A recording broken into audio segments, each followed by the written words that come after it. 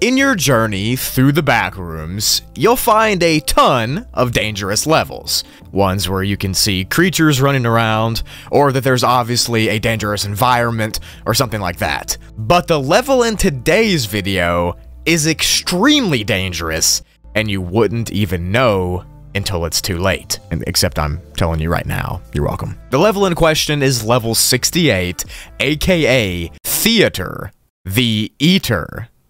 You get it? The Eater. Sit back and relax, uh, but don't actually sit back and relax in this level, because you'll never be able to stand up again. You'll see what I mean later. Anyways, let's get into the video explanation. Shall we? Go check out my third channel, Spoogli, if you want some more internet mystery horror deep dives. I just uploaded a video on some creepypastas. Go check that channel out if you want more from me.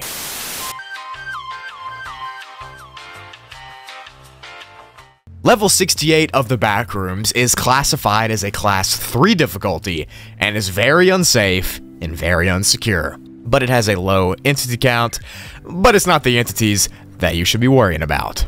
The level itself seems to take the appearance of a massive movie theater that sprawls out for a long while. It's just one massive complex with different parts of that same theater. The entire level doesn't feel like a theater, though. It almost feels organic, like it's alive or like it's an organism that you're walking around inside. There's things like fungus and grass that grow up in the darker hallways, and mushrooms sprout from random areas as well. There are also corridors and hallways and rooms that intersect to this massive theater, and they all lead back to this one large theater room. Now, the room is full of theater style seating and chairs, all made out of a reddish, dark gray fabric.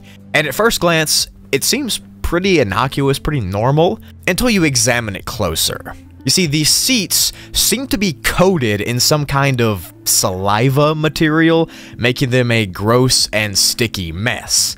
Now, despite them obviously being a soggy, disgusting, nasty chair, they seem to draw people in and lure them to sit down on top of them. Like, even though it looks disgusting, you want to sit down. It's almost this irresistible urge. And when wanderers do sit down, they describe the chairs as being abnormally comfortable, like more so than any other chair they've ever sat in, this is the most comfortable, even though you're sitting in a soggy chair. You see, once all the people inside the theater are seated in a chair or they choose to sit down, the chairs themselves seem to release some type of chemical enzyme into the fabric of the chair and the saliva that's coating it.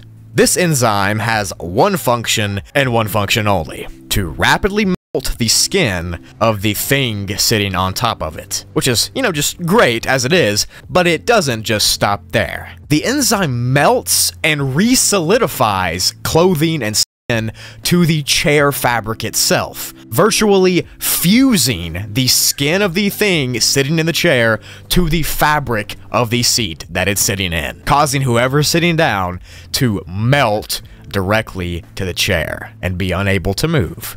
Nice. Now, while this is happening, the victim doesn't really seem to notice anything, and they're distracted by something else. There's a ton of theories on what distracts people. Some think it's a pheromone or an enzyme. Some think you're just losing your mind. I don't know. Now, once you're successfully melted directly to the chair, the screen at the front of the theater will start to play a movie. How nice. The films that are played here are random and they don't seem to correlate at all with anything from real life. There's not been one single movie that's known.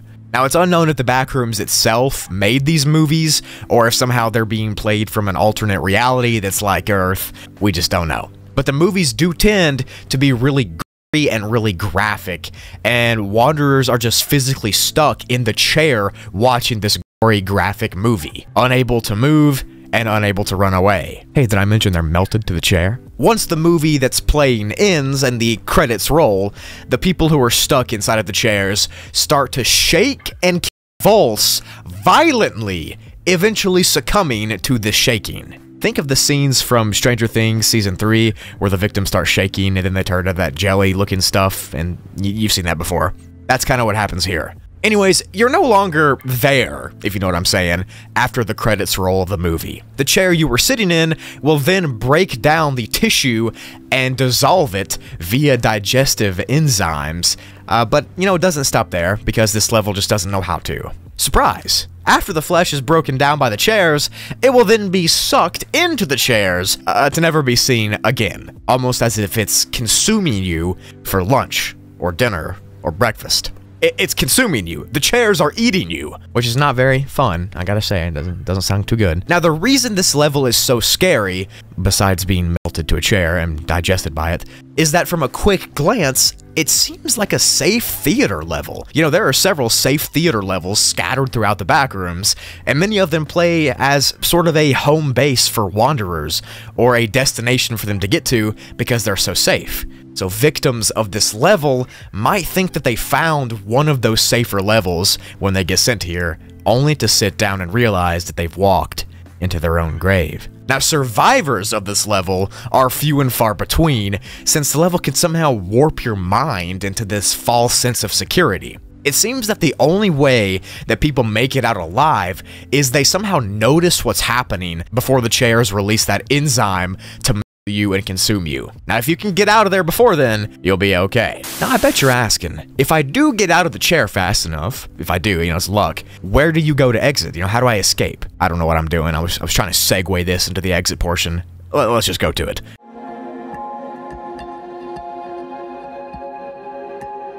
So to enter the level, you have to walk into a theater on level 11, and you seemingly have a random chance to be sent here just completely random. You could be on level 11 chilling, and you'll be sent here. Which again, is terrifying, because level 11 is a widely known safe level, and the fact that you could be sent here from a safe level to be digested by a chair is pretty scary.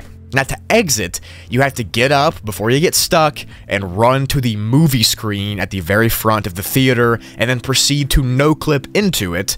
Or you could also run into a hallway that's here and find a door that looks like this to be sent to level 74. Either way, you gotta get out. And the only way to notice what's happening before it's too late is if you sit down and you start to feel your arms getting sticky and harder to move, and you kind of get uncomfortable. Now this happens randomly because like I said, most people who sit here think it's really comfortable and really relaxing. And this mainly only happens to people that are wearing short sleeve shirts since their skin is touching the seat directly. So if you're wearing a hoodie or something, you can't feel the fabric of the chair, uh, you're probably going to be consumed by it. Sorry. But if you feel yourself getting stuck to the chair, you gotta get up and run to the screen to get out, or you'll never be seen again.